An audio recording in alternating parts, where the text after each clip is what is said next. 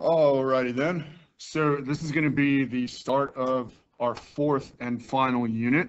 Uh, and in it, we are going to study two and three dimensional figures as well as measurement of those figures in two and three dimensional space. Okay, so our EQs for today and what we're going to be talking about. So I guess I should start with the title. So we're going to begin to motivate the concept of area and we're going to motivate it uh, using quadrilaterals. And you can see that in our EQs. So we're going to talk about, well, what is area? What is a quadrilateral?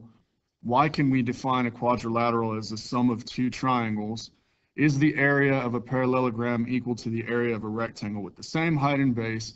And last but not least, we're going to really delve into uh, the characteristics of key quadrilaterals. Okay, there's six of them. We're going to talk about them a little bit. Well, actually, in the video, I'm not, but there's going to be an attachment for you to uh, mull over, and we'll talk about it also in class. Okay, so without further ado, so let's go ahead and answer EQ1. So what is area? And I kind of give you the answer to EQ1 right here uh, in the title of this slide. Okay, so area is the two-dimensional quantification of space.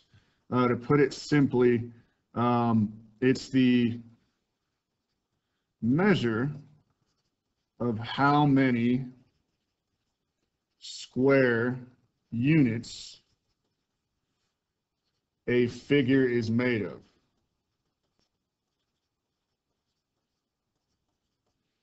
Okay, so it's a two-dimensional measure of space. So we've got one-dimensional measure, which is distance, right? Perimeter is also a form of distance, which is, you know, that means it's also one-dimensional. Then you have two-dimensional area and surface area, and we'll get into that later when we get into 3D figures. And then you have the 3D measure of space volume, which again, we'll get into later. Right now, we're going to focus on the two-dimensional. Okay, so let's move on to EQ2. What is a quadrilateral? Okay, and to get to that, we are going to first reconsider what we did uh, in the do now. So in the do now, I mean, you probably figured it out pretty quick that uh, this is a three, four, five right triangle here. Three, four, five, right? It's just been scaled up, uh, excuse me, by a factor of four. So our height is 12. Our base is simply 16. And our hypotenuse is 20, right? But that's not what's important here. Okay, so in the do now, I ask you how many how many one inch squares can you fit inside here? And the answer would be found simply by multiplying your base times your height. Okay, so we would have 12 high this way, right? We'd have 12 squares stacked this high. And we would have 16 squares going this way. And if you just multiply, right, you'll get your answer. And the answer there, that would be 120 plus, yeah, let me see, quit trying to do this in my head. So 12 times 16, 192. So we could fit 192 square inches or one inch squares, which means the area of this two-dimensional figure right here is approximately, and I shouldn't say approximately, it is exactly 192. I don't know why I'm saying. I guess I'm just so used to saying that. But it is exactly equal to 192 square inches. Okay, so let's go ahead and answer EQ2 while we're here. And now that we've further motivated what area is. So EQ2, what is a quadrilateral? A quadrilateral is any figure, and I mean, you should know this, any figure, or I should say any polygon, right? So it's a polygon with four sides and vertices like how I ran out of room and just wrote it over that. Okay, so on the EQ3. Why can we define a quadrilateral as the sum of two triangles? And the answer is pretty clear in this picture. Okay, let me carefully erase some of this crap. Okay, so I don't know why I erased that. So what we've got is, if you think about it, two triangles here are forming this uh, quadrilateral, this rectangle. Okay, obviously this is a rectangle, and we'll talk about why it's a rectangle here in a little bit. Okay, so this guy we can say is made of two triangles. It's made of this triangle plus this triangle.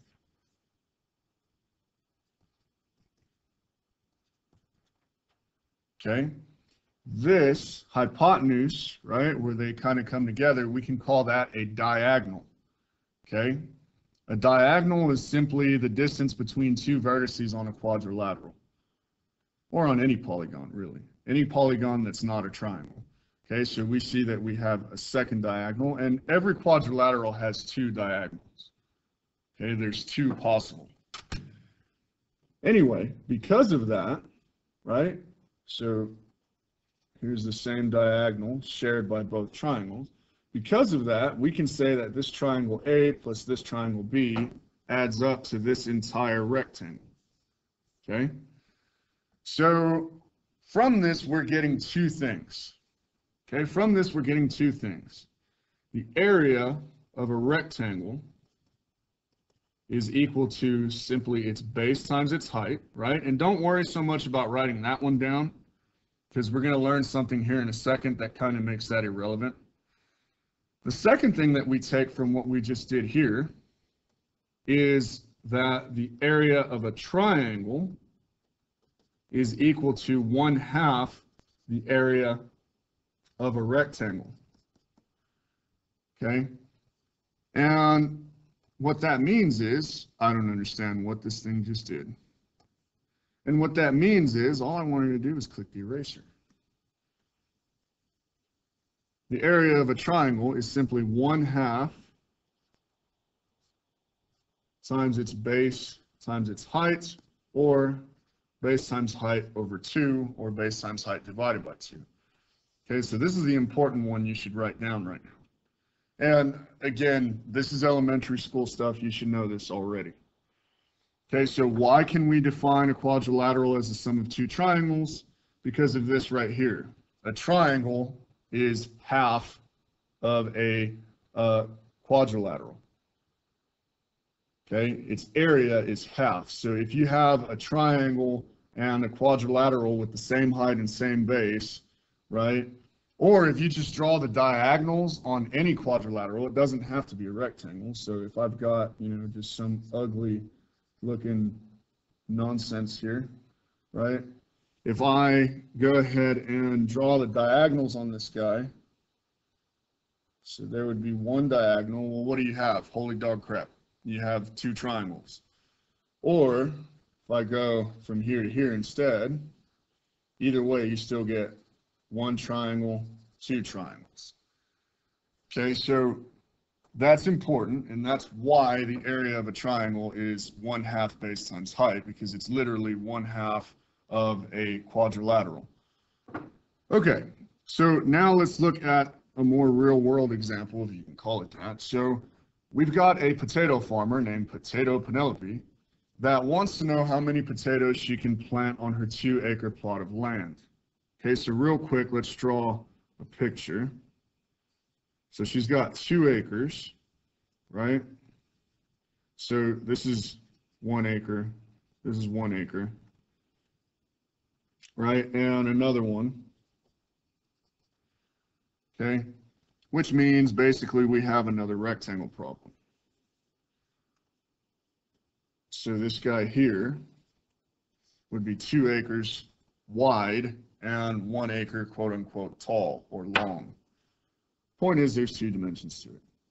Okay, so she wants to know how many potatoes she can plant on her two acre plot of land.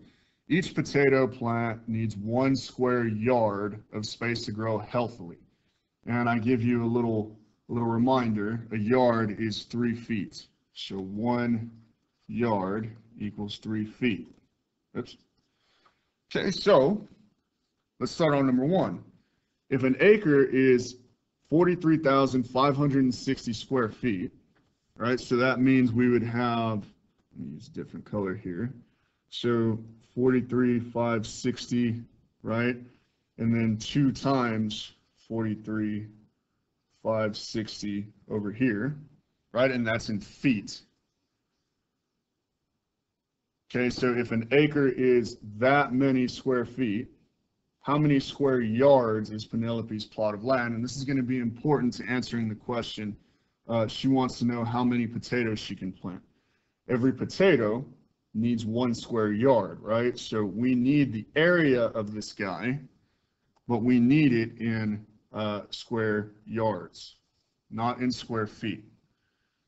Okay, so to do that, if one yard equals three feet, right, all we need to do is take the 43,560 and divide that by three. So 43,560 divided by three, we get 14,520. Okay, so this is yards. So that means this guy, this dimension here, or our height, is 14,520. Okay, and over here, okay, so what we would really have is 2 times the 14,520, so times 2. I get 29,040, and that's yards. Okay, so now I have my base and my height in yards, right? Now I can find the area in square yards of her land. Okay, so I can go ahead and just take my two numbers, base, so 14,520 times height, 29,040, multiply those two together, and that's a lot. Okay, so what we end up with is a huge number. She's going to be able to plant a crap ton of potatoes. So let me write this out. So base times height equals our area, right? And we get approximately, well, not approximately, so used to saying that, we get exactly 421, 660, 800. 421, 660, 800. Okay, so that's 420,660,800 potatoes. That is a crap ton of potatoes that she'll be able to plant. Okay, so let me back up. Let me back up. So to answer number one, our answer for number one is how many square yards, right? And that is 421,660,800 square yards. Okay, that's our answer number one. Our answer number two is literally the same thing. How many potatoes? The same amount right? Because one square yard equals one potato. Okay? So just a little bit of an example of real world applications of area. And I mean, you all know how important it is to understand that concept. Okay, so now we're going to be relating rectangles and parallelograms, and you're going to understand why I told you not to write the area of a rectangle formula down and we're fixing to see why. So to see why, we're going to have to answer EQ4. Okay, and EQ4 is asking us, is the area of a rectangle equal to the area of a parallelogram with the same height and base? So here we see two quadrilaterals, right? A rectangle and a parallelogram. Okay, and if you don't remember what, so let's go ahead and make the distinction. So rectangles have four 90 degree vertices. That's how I know this is a rectangle. Parallelograms have two pairs, two pairs of opposite parallel sides. Okay, that's how I know that that guy is a parallelogram. Okay, so we're fixing to make a comparison uh, that's going to give us a formula that we need. Okay, so we've already seen, right, if we want to find the area of a rectangle, all we do is multiply the base times the height. Okay, so base 20 times the height, 9. Well, that's 180 square units, or square centimeters in this case, right? That's the units we're using here. Okay, over here on the right, we see that we've got a parallelogram with the same base and the same height. Okay, so I'll use a different color here. It's a little bit different. It's just shaped weird, right? But all the same, okay, we're going to see if the area of this parallelogram will be the same as the area of our rectangle over there. Okay, so what we end up with is we've got two triangles, right, on either side of this guy. Okay, so a height of 9, an unknown base on both of them. So what we're going to do is find the area of these triangles, and then we're going to add it to the area of this rectangle in here. Okay, so let's figure this out. So this is pi over 3, whoops, I wrote 6. Okay, which means it's 60 degrees.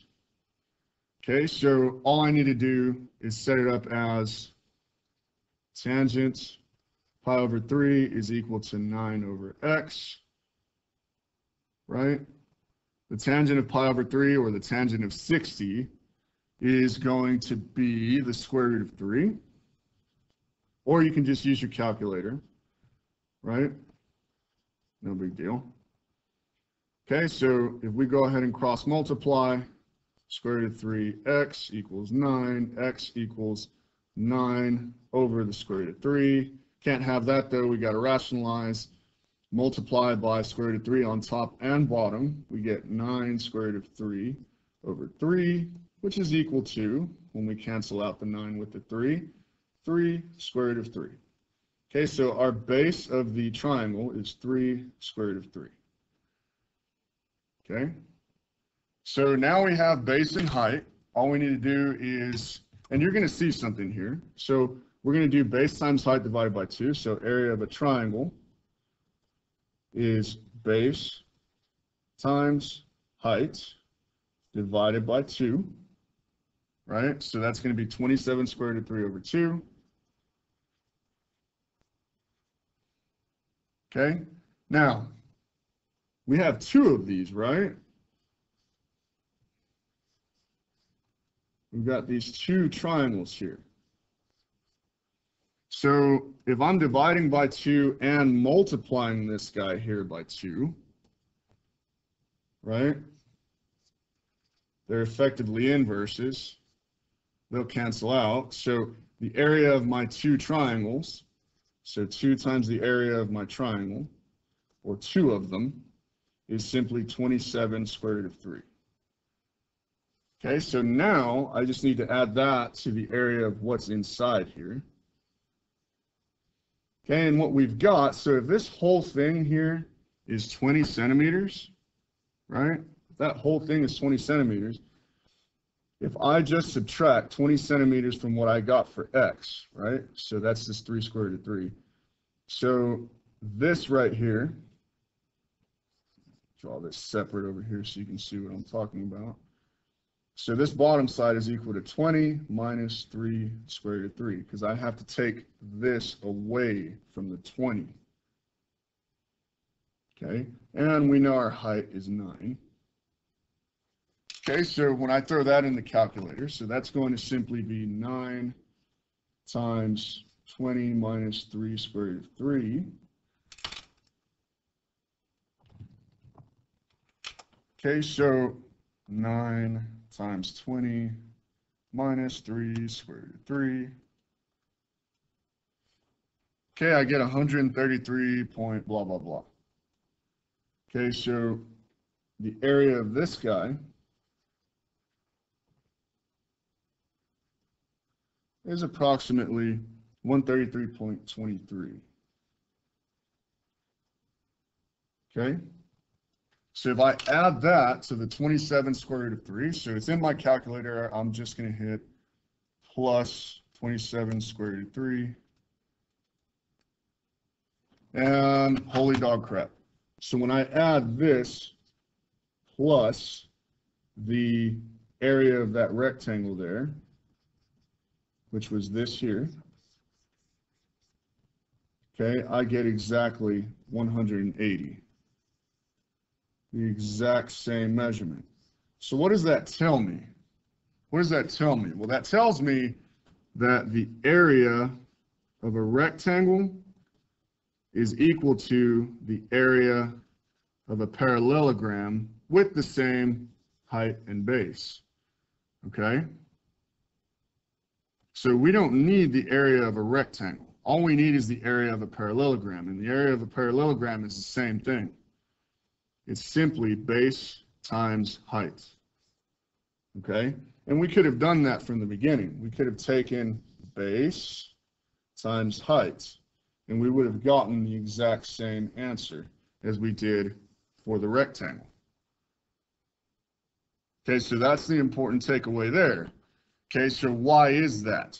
Well, because a rectangle is a parallelogram. Okay, a rectangle is a parallelogram. Okay, so in the instructions, so we're going to do some guided practice and just apply what we've learned, right? So we know how to calculate the area of a rectangle, parallelogram, and triangle. Okay, so we're going to put that all into use, and we're also, besides just calculating the area, we're also going to calculate the perimeter. Okay, mentioned that before I forget to do it. Okay, so figure D, we have just your basic uh, rectangle. Okay, we know it's a rectangle because we have the four 90s. Okay, we know the diagonal length is 24 feet, and we know the height is 12 feet. Okay, but we do not know what the base here is. Okay, to figure that out, we're going to have to do basic trig. Okay, so 12, 24 are missing B. Okay, so there's two ways to go about this. I can use basic trig and figure out what this angle theta here is, right? So that would be this angle here. And that's going to let me figure out what uh, this side B is. Okay, so I'm going to go ahead and do that. So I'm going to go ahead and do the arc sine of 12 over 24. Because I've got opposite over hypotenuse, right? Oops. 24, not 14. And that reduces down to the arc sine of 1 half, which we should already know is going to be 30 degrees, or pi over 6. Okay, so this guy here, 30 degrees.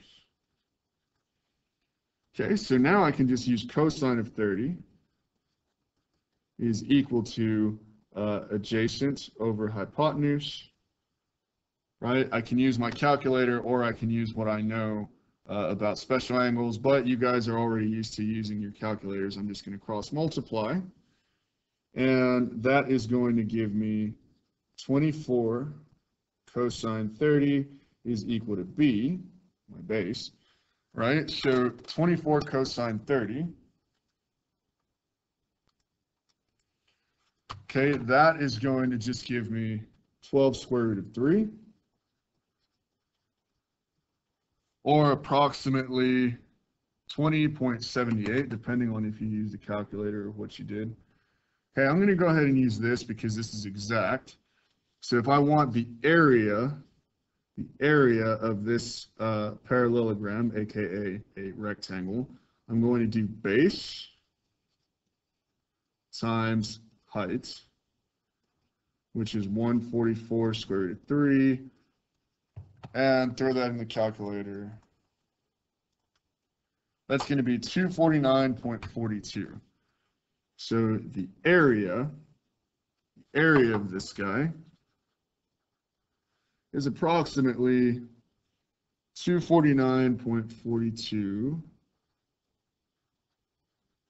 square feet, right? But we still need to calculate what its perimeter is. Okay, so in order to do that, I mean, come on. All we're going to do is add all the sides up, right? So we know that the base is equal to 12 square root of 3.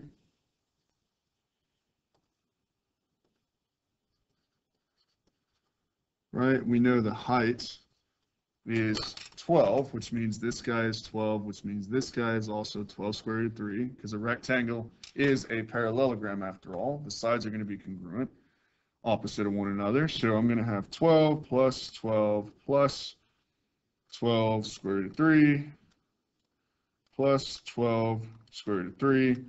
And if we work smart, not hard, we can simplify this down into 24 plus 24 square root of 3.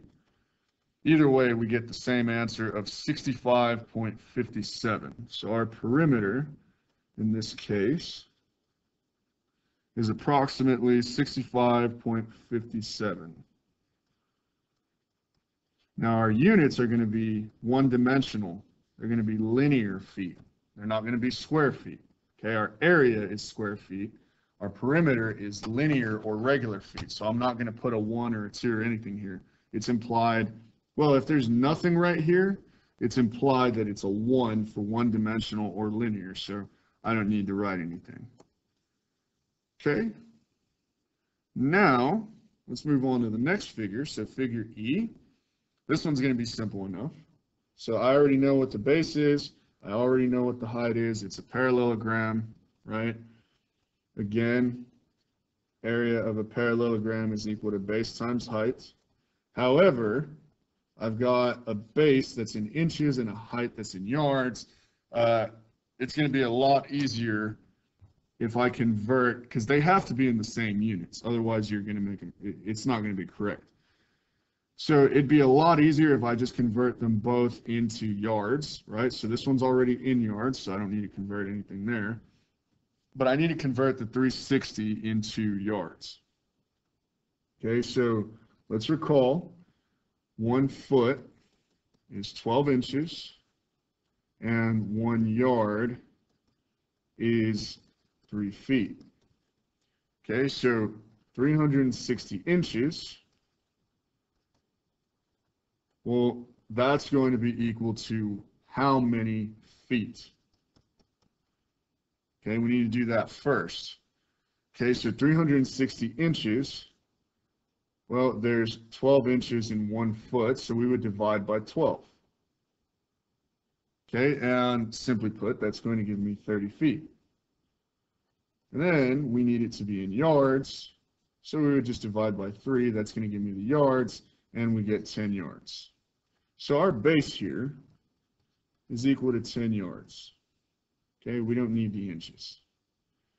Okay, so now that we have base and height, right?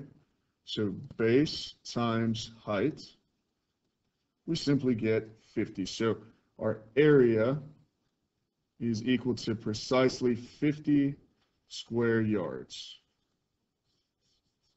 Okay, now we need our perimeter right? Well, to calculate our perimeter, we need to know all four sides of this quadrilateral. Okay, and we only know one, well, technically two of the sides, right? So this base right here, we just figured out, is 10 yards. Okay, but we need to know this guy. And when you look at the picture this way, what have we got? We've got a right triangle. Okay, and something nifty about parallelograms, right? Opposite angles are congruent. So if this guy here is pi over 3, the vertex opposite of it is also pi over 3. Okay, and pi over 3 in degrees, we should know by now, is 60 degrees. So what we've got, this guy is 60 degrees. And guys, again, I can't stress enough, see how I'm drawing pictures separate, right? Look at individual pieces of things by drawing them separate. If you're not drawing pictures, it's a lot harder to wrap your head around. Okay, draw pictures. Okay, anyway, so this guy is 5, right? We need to know this hypotenuse. Okay, so to figure that out, and we're just going to call this hypotenuse x. Okay, that means this side over here is also x. So we can just use sine. So sine 60 is equal to opposite over hypotenuse. We can go ahead and cross multiply. We get x sine 60 equals 5. x equals 5 divided by the sine of 60. Okay, and we throw that into the calculator. 5 over sine of 60. And we get approximately 5.77. And if you didn't use a calculator, if you use the fact that, you know, sine of 60 is square root of 3 over 2, and you cross multiplied from there, you would get 10 square root of 3 over 3. Let me double check because I did that in my head. Yeah, and that's the exact same thing. Okay, either way, you get the same answer. Okay, but we're going to go ahead and use this number because it's more accurate, it's more precise. Okay, so to calculate my perimeter, I'm going to do x plus x, right, plus 10, plus 10. Okay, so let's go ahead and do that. So that would be 10 plus 10, so 20, plus, and we can go ahead and just say 2 times this guy, right? So 2 times the uh, 10 square root of 3 over 3. So that would be 20 square root of 3 over 3. Right? So that's what we're going to use in the calculator. So I'm going to go ahead and do 20 times the square root of 3 divided by 3 plus 20. Okay, and that gives me a perimeter of about 31.55. 31.55 linear yards. Okay. Moving on. So now let's look at our final figure here. We've got a triangle. So area is going to be easy. Well, I shouldn't say that. The perimeter is going to be the easiest.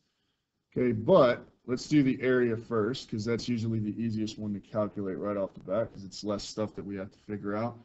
So looking at this triangle, we notice the two base angles are identical. 7 pi over 18, 7 pi over 18. That means this is isosceles. Okay, if a triangle is isosceles, it has two identical angles, meaning it also has two congruent sides. So if this guy is 80, that means this guy is also 80. Okay, so that said, now we just need to figure out the height and the base. Okay, and what we've got is the hypotenuse of 80. So this is 80, 7 pi over 18. Let's go ahead and convert that to degrees here. And remember, degrees is equal to 180 uh, times your angle in radians divided by pi. So we've got 180 times our angle in radians, all divided by pi. Pi's cancel. We end up with 180 times 7 over 18. And the way you're going to throw that in the calculator is simply 180 times 7 divided by 18. That is going to give you 70 degrees. So this guy here is 70 degrees. Okay, we don't know x, we don't know h, but we can easily find them by using sine and cosine. So to find x, right, and because this is isosceles, okay, this x right here, our base is equal to 2 times that, because that's half of our base. Okay, anyway, so we're just going to use cosine. So cosine 70 is equal to adjacent over hypotenuse. Cross multiply, we get 80 cosine 70 is equal to x. Throw that in the calculator. 80 cosine 70. We get 27.36.